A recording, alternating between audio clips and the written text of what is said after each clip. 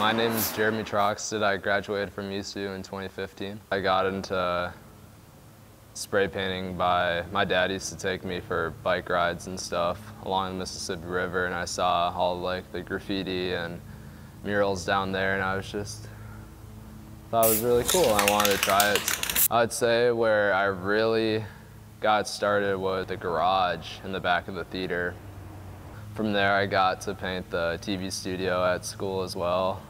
For Jeremy, his high school hobbies turned into a dream come true. Kind of right now, I feel like I'm living my childhood dream almost. I never thought I would be um, painting for people or that people would want me to paint for them. I always thought graffiti would be a thing where I would just be doing it in my garage. I've heard that it takes like 10,000 hours to become a master at anything. And I know I'm not there yet, I'm not even close, but I think that motto really goes well. It's just all about the time and the heart that you have. Signing off for The Flash, this is Marky.